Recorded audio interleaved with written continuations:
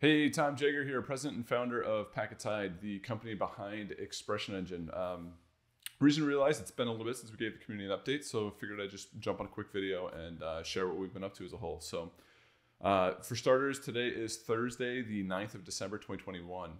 Um, let's start with ExpressionEngine version 5. We have been um, working on 6.2 and 6.3 a lot.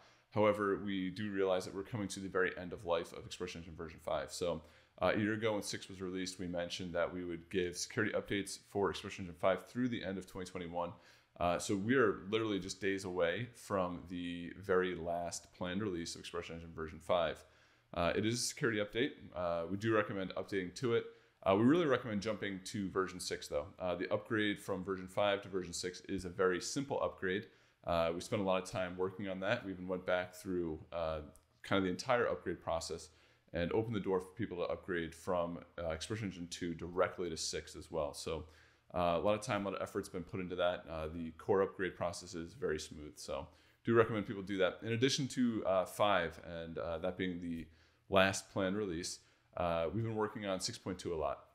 So version 6.2, it's been an interesting release. 6.2 is a release that we've been calling the sprinkle release internally. So why do we call it the sprinkler release? We are calling it the sprinkler release because uh, basically we looked through uh, a lot of the feature requests that have come into GitHub and we've said, um, hey, a lot of these are good ideas. Uh, a lot of these features, if you will, are just small things that people have reached out and said, hey, if ExpressionEngine could do X or it could do Y or it did Z in this area, uh, that'd be really cool. So uh, we decided to go through and we looked at it and said, hey, you know what? A lot of these are going to fall right in line with where we want to head.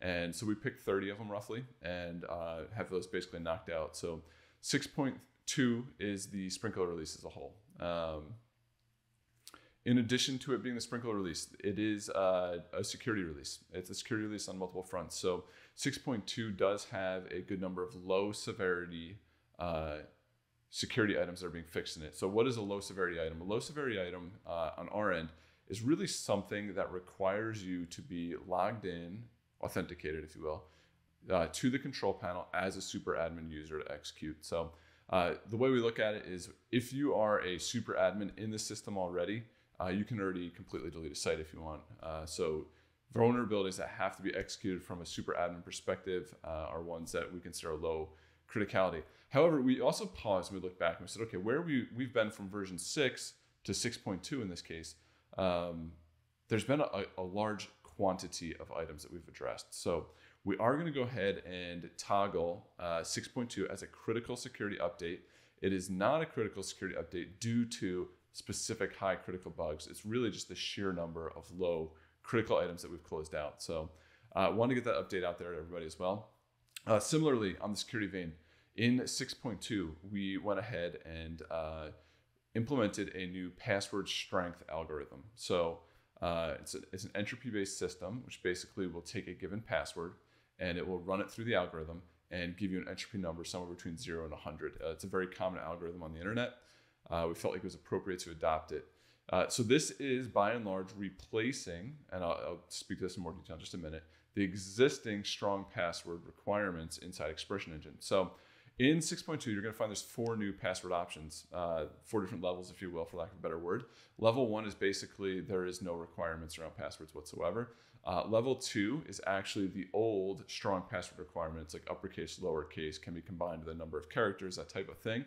Uh, level three and level four correlate to specific entropy scores uh, in the algorithm that I just mentioned. So, uh, what does the entropy algorithm look at? The entropy algorithm takes a given password and it assesses it and it looks at things like you know are there reoccurring characters? Are there uh, commonly used words? Are there uppercase letters lowercase letters special characters? What's the length of it? Things like that. And it basically weights a given password uh, based on the algorithm and then gives it the score. So you know level three i, I don't know the exact uh, numbers but you know for password or if you set the password security level three it means that the password gets run through the entropy algorithm and returns a certain number number x and then at level four, it's a higher number, number Y comes through. So uh, that's part of what's coming in 6.2. In addition to that, uh, Pro 1.1 uh, will be shipping with 6.2. So uh, while there's five or six new additions to Pro in 1.1, The big one is really the multi-factor authentication. So uh, coming out of the gate, kind of in the same uh, vein, if you will, with 6.2 having the security element to it, uh, we are rolling out multi-factor authentication as part of Pro.